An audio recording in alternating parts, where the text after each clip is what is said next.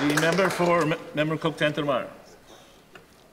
Thank you, Mr. Speaker. I'm rising today to uh, respond to the Minister's statement on the 50th anniversary of the report of the Royal Commission on the status of women in Canada. 50 years is a really long time. And while I do congratulate those who researched and wrote this report, it was quite radical at the time. It was calling for things like gender equality, for women to be able to do certain jobs, for, for them to be paired, paid uh, fairly. Um, there are many things that were not implemented right away. It took quite a fight to get them implemented, and there are still items outstanding. For example, there's still no national child care strategy.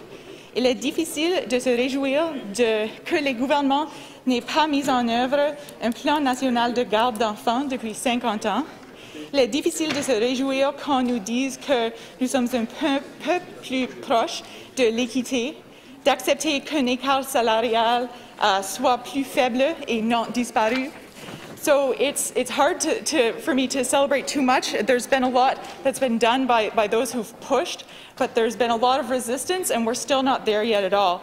8.3% pay gap, it may be lower within the country, it's still not acceptable. So women have an 8.3% pay gap, and I would like to know the racial breakdown of that because um, women of color tend to be paid less than, than white women, for example.